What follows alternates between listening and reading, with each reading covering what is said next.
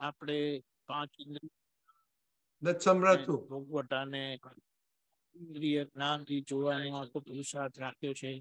તો એના પર આપણે લક્ષ્ય રાખીશું. સ્પર્શેન્દ્રિય આપણે જોયું. સારું ખરાબ લાગે છે દાજે છે દુખે છે બધું ભૂખ લાગે છે. એ બધું એમાં જાય. પછી સ્વાદ ઇન્દ્રિય જોયું. છ રસો છે. ખાવાનું ગમે છે નથી ગમતું ભાવે છે નથી ભાવતું. છ રસો માં રસ યુક્તતા મોટી વસ્તુ છે. ગઈકાલથી આપણે શ્રીજી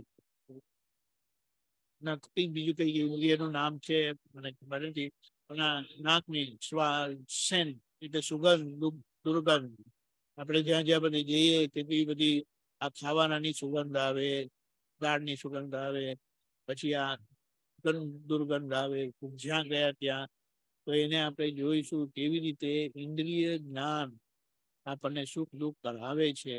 અને અતિન્દ્રિય જ્ઞાનથી, આ ઇન્દ્રિય જ્ઞાનથી થતા જ્ઞાનને આપણે સારી રીતે જોઈ શકીએ છીએ, અસરમુક્ત રહી શકીએ છીએ, પરમાનંદનો અનુભવ કરી શકીએ છીએ. સારા દિવસ દરમિયાન આપણે કરીશું. બીજી મોટી વાત, આજે રાધા ભગવાનની પુણ્યતિથિ છે. મહાપ્રકાશ પર્વત તારીખ મુજબ અહીંયા યોગાનુયોગ ભેગા થયા છે બધા શિબિરમાં. તો સવારના શિબિરનો અનુભવ સાથે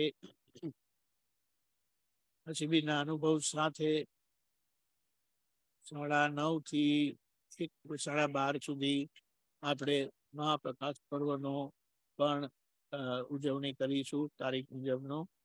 તો બધા લાભ લેજો ને એ યુટ્યુબ પર આવશે. જય સચિદાનંદ દિવસ